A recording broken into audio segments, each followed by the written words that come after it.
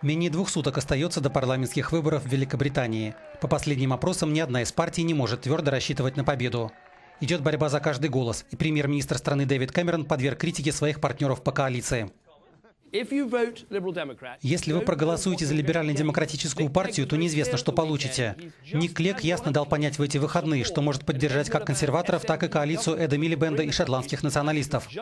Поэтому, если вы предпочитаете, чтобы премьер-министром был я, не полагайтесь на волю случая. Голосуйте за консерваторов, где бы вы ни были.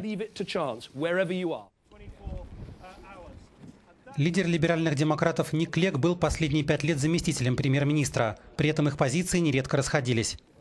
На предстоящих выборах опросы предрекают либеральным демократам худшие результаты, чем пять лет назад.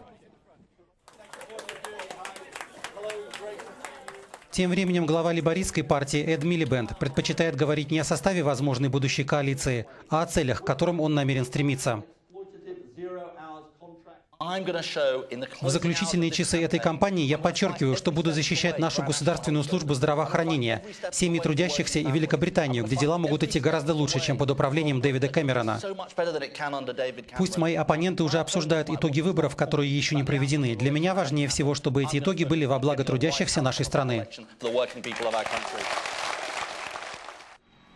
Ранее Милибенд отверг возможность создания коалиционного правительства с шотландской национальной партией.